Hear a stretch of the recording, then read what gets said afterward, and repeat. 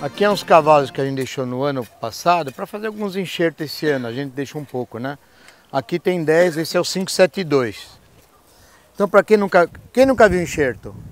Eu. Nunca viu? Assim, ao vivo ou nunca No- Ao vivo? É, não. Quem já viu ao vivo? Ninguém viu? A maioria não, né? A maioria não, a maioria não. Tá. Então é assim, ó. Esses galhos que estão no chão são os galhos que nós tiramos hoje para vocês, que vocês viram. Galhos com três palmos. E ano passado tinha uma valetinha pequena aqui. Depois que deixamos os galhos um mês deitado no chão, com terra, trouxemos para cá e deixamos dois palmos um longe do outro. Aqui é só para fazer enxerto, ó, isso aqui, só para brincar. Isso aqui. Então, nesse caso aqui tem 10 do 572, que aqui até aquele poste ali é o 572. Então, esses galhos podiam estar maior, como às vezes ele fica assim, cavalo. Tem gente que olha que o cavalo está desse aspecto, ou assim, acha que está tudo errado. Não, está normal para enxertar. Como isso poderia estar com 2 metros de altura, também estava bom para enxertar. Porque o material tão verde, nós vamos ver. Então, é assim. Sempre quando a gente vai enxertar, como são algumas variedades, a pessoa, que é um hábito meu, por exemplo, eu já tenho etiqueta antes de enxertar, eu já marco nas costas o cavalo que é. Aqui é 572. E na frente, nesse caso aqui, eu vou enxertar a uva sem semente nacional brasileira, Aurora. Aurora. Como ela é sem semente, eu marco SS. Que dia é hoje? E eu marco a data do enxerto. 16 de 7 de 17. Então aqui a, a identificação está pronta. Então eu antes de enxertar, eu já deixo ela aqui no lugar. Porque daqui seis meses, um ano, eu tenho que saber o que eu enxertei. Que dia que eu enxertei que cavalo que é. E o nome da videira. Aqui já está identificado ela. Que depois que a gente enxertar, o bambu volta aqui e nós vamos amarrar e ele fica no lugar quieto que vocês vão ver o que é. Então aqui eu peguei dois materiais. Um mais ou menos fino, que é da Aurora. Por que, que eu peguei fino? Como esse cavalo está um pouquinho grosso, a gente pode fazer o enxerto tanto com um só aqui na lateral, que vocês vão ver o que é, como aqui está fino, eu peguei de propósito, eu vou colocar dois num cavalo só. Porque ele é grosso. Então eu vou fazer de dois jeitos esse. Esse já é um olho bem inchado, é um material com essa espessura, eu peguei quase igual, é o Moscatel de Erevan, é um pé que eu tenho aqui. Erevan é capital da Armênia. É uma videira que eu recebi da Armênia em 2002. É uma Moscatel muito boa, dourada. Vou fazer o enxerto dela aqui, porque a bitola é mais ou menos igual. Então o Moscatel de de Erevan vou fazer aqui, e aqui eu vou fazer de dois jeitos, só para vocês verem, que é normal fazer. Então, aqui o cavalo está aqui, ó. Muito bem. Ele podia estar com dois metros de altura. Esquece dois metros de altura. Na altura mais ou menos de um palmo do chão, um palmo, a gente corta aqui. Poderia fazer o enxerto tanto aqui nessa altura, nada impede depois do nó eu fazer um enxerto um pouco mais alto, se a pessoa quiser. É a mesma coisa. A única coisa, você fizer um enxer- enxerto com dois palmos de altura, como nós vamos puxar terra aqui, cobrir tudo com terra, para o enxerto não desidratar, só tem que colocar muita terra aqui em cima. Fica ruim de pôr terra. Então, nesse caso, eu vou fazer ele então um pouco mais baixo só, ó. É chutômetro, hein, ó. Quatro dedos do chão. O material tá verde, tá bom. Então agora o cavalo tá pronto para receber o andamento do, do trabalho. Então se ele tivesse com 2, 3 metros de altura, esse 572, isso que sairia dele 2, 3 metros, eu cortaria em 4, 5 pedaços, é 4, 5 galhos do 572, é cavalo. Eu vou juntando para distribuir para alguém. Nesse caso ficaram mais ou menos assim, normal também. Não quer dizer nada, viu? Então, o, enxerto normal de garfo de fenda cheia. Isso se faz no mundo desde 1890, mais ou menos. Não é novidade nenhuma. Então, aqui eu peguei um galho, tá com uma borbulhinha boa aqui, ó, que é o, olhinho dela. Tem um bom aqui e um legalzinho aqui. Eu tô vendo que dos três, que eu peguei um galinho médio, os dois estão com a gema mais inchada. Então eu vou des- desprezar o de lá. Deixo um dedo de sobra. Agora vou, vou fazer ele em dois, que eu quero, uma, um- eu quero um, um esporão. Ó, é isso aqui. Veja, a fêmea, chamo de fêmea agora, tá na minha mão. Duas com gemas boas, ó, bem inchadas, ó. Não sei se vocês estão percebendo o que eu estou falando, ó. A outra, a terceira, tá boa, mas não tão boa quanto essa. Então desprezei a ponta. Então, o que, que a gente faz?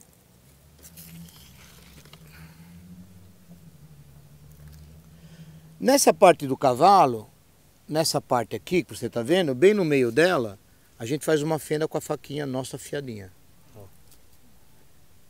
Olha lá. Faz uma fenda não mais do que dois dedos. Isso. Essa é a abertura do cavalo. Então, quando vocês leem livro, o, o, a, o enxerto de cunha cheia, primeira coisa, você vai abrir o meio do cavalo. O que, que é abrir o meio do cavalo? Que acabamos de fazer. Bem no meio do galho. Olha lá. E agora? Agora aqui, que é a parte que vai dar uva, que é a fêmea, que aqui é uva aurora. Então ela vai ser introduzida lá dentro. Eu vou fazer uma. Olha lá, tiro a faca. Aqui, olha, bem deitada a faca. Ela tá fazendo devagarzinho, ó. E vai sair, ó, até chegar ao cerne. Viro ela as costas. Cuidado para não quebrar a gema com o dedo. Quebrou a gema, perdeu o enxerto. Perdeu, pega outro material. Quebrou a gema, quebrou o coração. É, não pode pôr o dedo, não pode dar uma guspida. Fazer que nem o Virgílio. Ensinaram pro Virgílio que cuspir em cima. É, é coisa dele, é. As artes dele. Ó, a fenda tá feia, ó. Ó. Bem certinho, um pouco de casca aqui, casca aqui, ó. Simplesinho, ó. Olha. E agora, ó. Agora, como ele é grosso, se eu for fazer só com um, que é normal, ó. A gente põe na lateral, olha aqui, ó. Casca com casca. Tem um buraco ali, esquece. É casca com casca. Eu poderia já amarrar ele. Esse enxerto estaria pronto. Aí nós vamos cobrir com terra. Porque aqui esse vazio, depois que amarrar, aqui sai uma gosma daqui uns dias. E vira um calo ele cicatriza. Mas como eu vou fazer também agora com dois, já que o cavalo é grosso, eu vou fazer colocar mais um aí do lado. Que se faz duplo quando o cavalo é grosso, se quiser. Se quiser.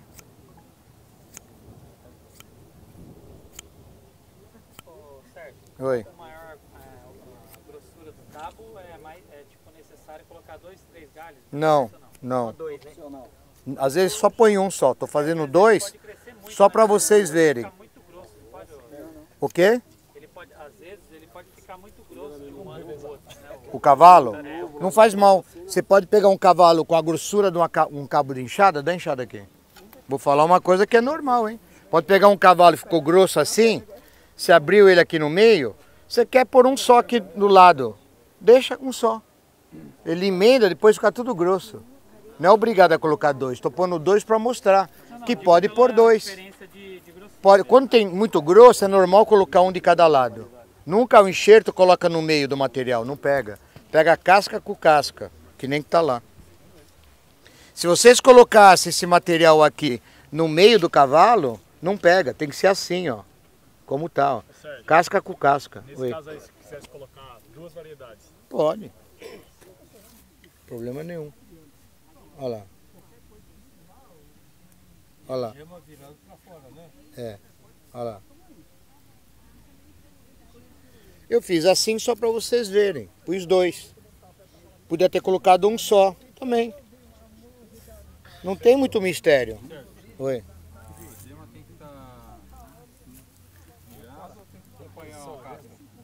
Não, esquece a gema. É casca com casca que você viu fazer.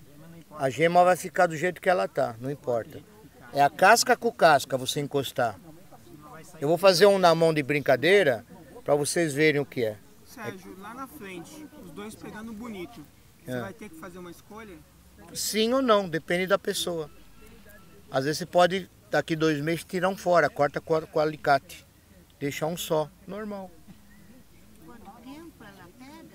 Seis semanas, se tudo correu bem. Mais ou menos.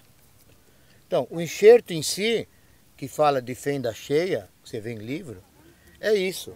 Agora, a gente teria que fazer o quê? Agora a gente recoloca o bambu no lugar, Porque quando nasceu o brotinho, havia amarrado no bambu o primeiro ano. Não, não porque nós vamos cobrir com terra. A terra substitui, garante a umidade. Não deixa desidratar. Então aqui agora a gente recoloca o próprio bambu. É muito simples, viu gente? Ó. Podemos dar uma amarrada aqui. Aqui só agora nós vamos acabar.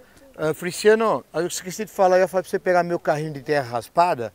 Pega essa terra que já está solta lá, já está solta, vamos fazer formigueiro aqui para o pessoal ver como é que é. Faz favor, pega lá.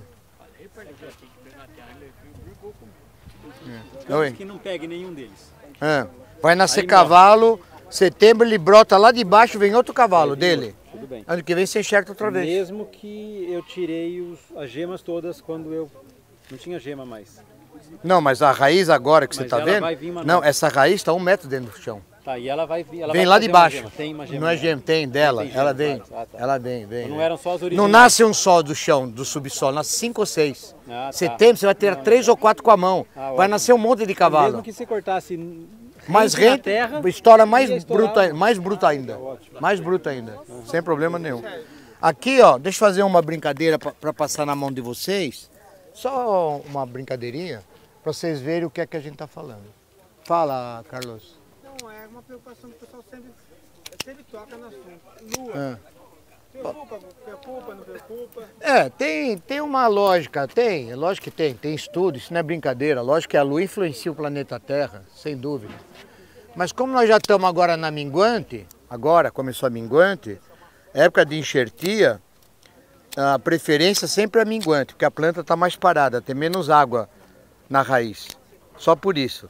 Então, quem começar a querer fazer o um enxerto, é a partir de hoje, amanhã em diante.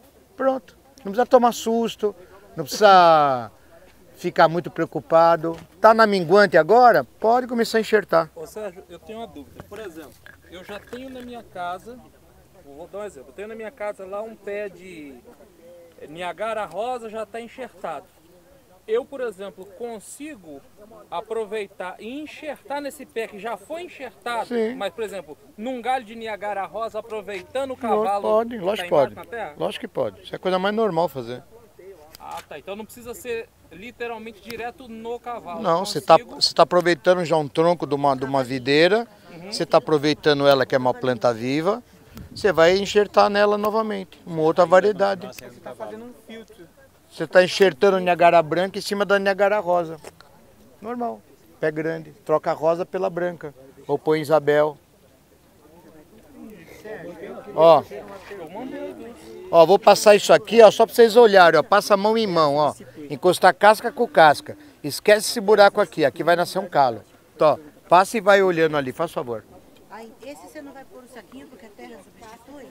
Isso, porque a terra vai deixar ela fresquinha. Isso, isso na internet sobre enxertia, Sim. de tudo, de citros, de tudo que é coisa. É. Por que que lá eles mandam fechar muito bem, isolar com, as, com plástico de sacolinha, tal, para não entrar água, que não pode entrar água, que então, apodrece. Porque o enxerto que eles estão fazendo, o cavalo que eles estão usando, tem gente que gosta de enxertar 50 centímetros do chão, o sim, cavalo. Sim, é então isso. ele não vai colocar um caminhão de terra em cima do enxerto, para ficar fresco o enxerto, para não desidratar. Aí eles colocam o plastiquinho, que é o que eu vou fazer um para você ver.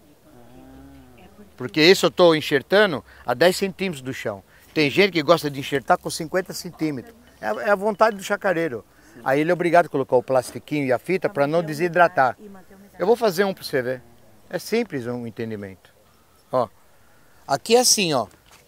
Nesse modelo agora, Coisa mais simples que tem, Friciano, vai pôr a terra aqui.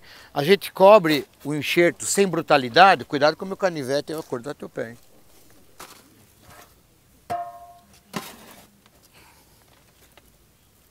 Normalmente a gente pega dois blocos, o tijolo, e a gente segura ele aqui, ó. Pode ver. É, isso é cobre dois palmos dele. Mas então, se passa 20 dias sem chover, você vai ter que dar uma molhadinha. Molha longe, um litro longe, três palmos longe do enxerto, não é em cima do enxerto. E se chover? Se chover, porque Deus quis que chovesse. Eu sou mal educado, viu? Não dá nada não, né? Vocês veem que... É seu lunga, é? Aqui a resposta é bruta, viu? É. Ó, aqui já foi, ó. Tá bem coberto. lunga morreu, mas ainda dá tempo de conhecer o Sérgio. É, dá, dá. Ó, isso aqui fica assim. É lógico que algumas semanas, Até em cima, ponto. um palmo acima dele. Ah, entendi. Fecha Um palmo acima dele. E o broto vai sair pra... Ele sai sozinho. Daqui seis semanas ele sai sozinho. Você não põe a mão. Sim. Fica, fica cutucando. Manda foto depois pra nós, É. desse broto, quando nascer.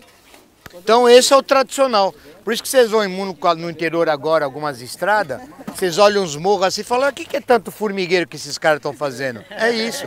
Eles acham que é formigueiro que nasceu. Não, é cara que mexe com uva, fez esse enxerto e cobriu com terra. Depois de quanto tempo pode tirar a linha daí? Só o ano que vem? Ah, ah, o amarrado? Não, não tem a pressa. Normalmente depois de quatro meses do enxerto. Você vai tirar isso aqui em dezembro.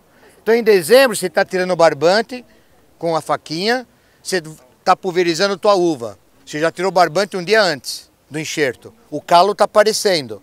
Você está pulverizando a videira com o caldo da bordaleza. Chegou nos enxertos, caldo da bordaleza, o bico em cima do enxerto, para não entrar micróbio. Ponto final. Tá mudando morre nunca mais. Aqui entende. Oi. Eu quero fazer uma pergunta. Aqui você mostrou como é que faz na uva. Esse tipo de enxerto, eu, eu consigo fazer para qualquer fruta? A maioria das frutas no planeta pode ser feito de garfo.